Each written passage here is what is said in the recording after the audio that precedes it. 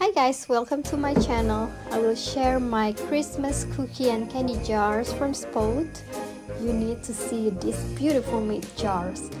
It's perfect for your friend, family, co-worker or keep it as your collection. So for you who really want to know how big the jar is and detail on it, watch till the end.